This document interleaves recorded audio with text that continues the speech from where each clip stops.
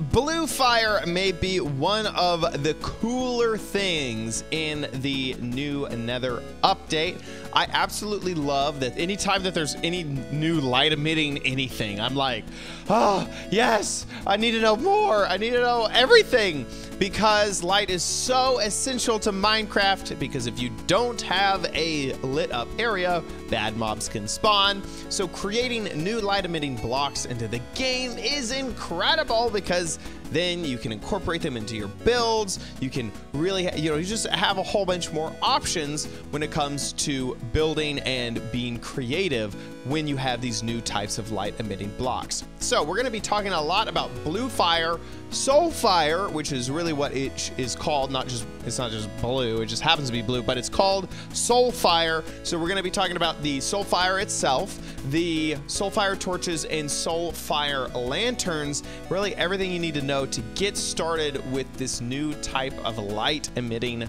blocks, block states, technically, maybe not, and uh, torches. So let's jump in. So here we are inside of Minecraft, and we are being overrun.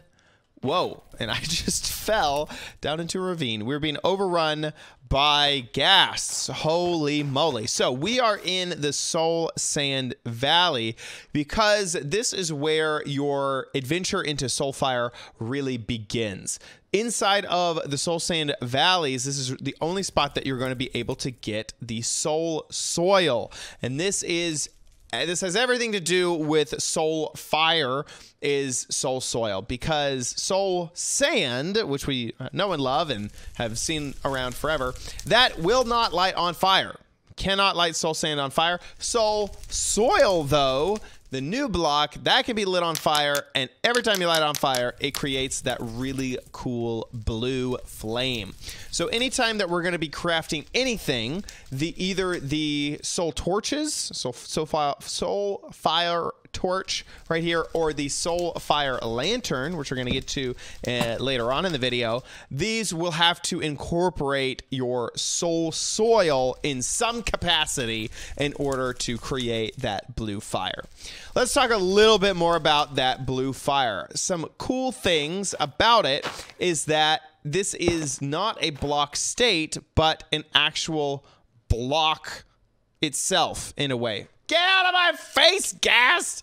Ha! Hi, ha, ha. We're just gonna just difficulty peaceful this for just a moment so that we can have some peace and quiet. Holy moly. What do I mean by this is an actual block, not a block state? Well, if we use the set block command on this block right here, and we're actually gonna raise this one block above the one that we are looking at, you have the option of fire. And you may assume that the simplest way for the Minecraft developers to make the fire blue is just to have the game to check if there is a fire going on on top of a piece of soul soil, turn it blue. Well, that is actually not the case because when we execute that command, we get normal old regular fire. So what is going on here? Well, let's move over here to this netherrack. And let's do the same sort of thing. We're going to do the set block, but we're going to move this up one block.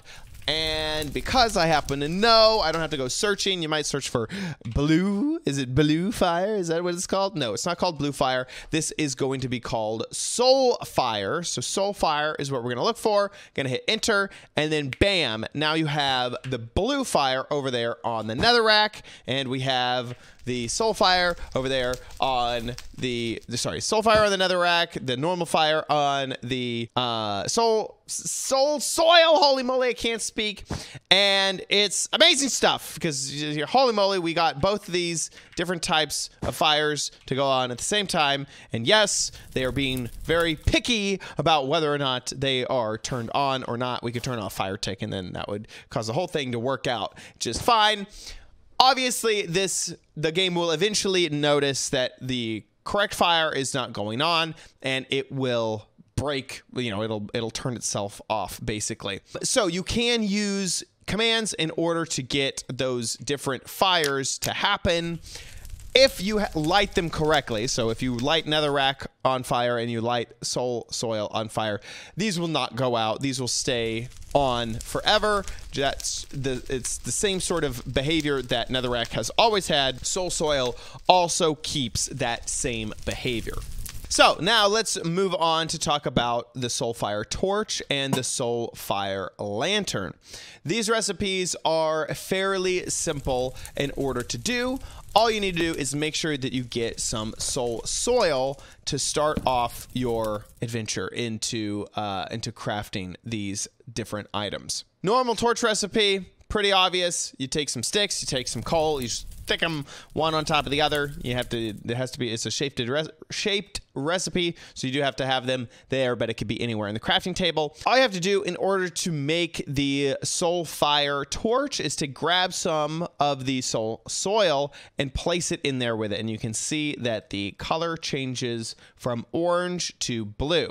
Now this is a shaped it shaped recipe, although it can happen anywhere inside of the crafting grid. So that is how you make your soul fire torches is you just need uh, uh, you need to have an extra piece of the soul soil in there whenever you make that type of block. Now, you can't place soul fire torches onto soul sand because it's not full block. But soul soil, don't worry, you can do that. Now, there's some interesting stuff around these torches. These torches actually do not emit as much light as a normal torch. So if I go over here and grab a normal little torch and we place it down kind of far away and I hit F3, you can see that there is a light on the client light side if I stand directly on this torch, the block level is at 14. That shows up right there as 14. If I do that same thing on a soul fire torch, it, only goes up to 10. 10 is the light level that the soul fire torch will emit. So sadly, the soul fire torch does not emit as much light as a normal torch, and you can kind of see that just with you know that those sort of torches just over there and you got this one torch it really does output a lot more light. You can almost just see it in game that that one is a little bit dimmer than this situation over here with that torch. But still you get the same aesthetic effect or you get the aesthetic effect of having blue light instead of orangish light.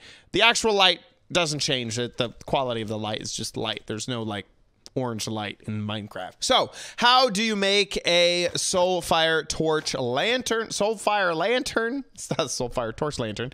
Well, it's pretty simple. Uh, all you need are some iron ingots. So, if you have, uh, sorry, iron nuggets. So, if you have iron ingots, just throw those into the crafting table. Then you're going to get nuggets as a result. A normal lantern recipe is this. So, pretty unamazingly, putting a soul fire torch in the middle of that recipe will get you the soul fire lantern. We can make a whole bunch of these lanterns and boop boop boop there we go and bam now we have 64 of them these lanterns work exactly the same as other lanterns. You cannot hang them on the side of things but you can hang them on the bottom of things and you can rest them on the top of things as well. Just like with the other uh, the torch the lantern also outputs a little bit less of light. So if I stand here on top of this, we can see that the light level is 10. And then if I go over here to a normal lantern and stand on that, you can see the light level is 15. So a little bit different because the lantern actually outputs more light than the um, torch does in a normal lantern, but uh, the lantern, the soul fire lantern outputs the same amount of light as the torch does in its different form. By the way, you can take this soul sand. I said soul sand, but I meant to say soul soil take it back through the nether portal with you. Holy moly, that's loud! I have my game sounds turned up really high because of all the cool new sounds. And if you place this in the over, whoop, didn't mean to do that. Place it in the overworld, this will light up blue just like it does in the nether. This is not biome specific or dimension specific. So if you want to have some really, really cool looking light, you can do that. And of course, you could mix this with the netherrack to pull off a really cool look of both types of fire going on right here. I think we're going to catch this uh, this tree on fire. If you do the uh, now earlier, I was trying to show you how to uh, how to switch the two different type of fire types. So if you do the fire tick and you set that to false, then you can do what we were trying to attempt earlier, which was to switch the two types of fire.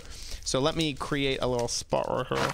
So we're going to set block this one. We're just going to set this to normal fire.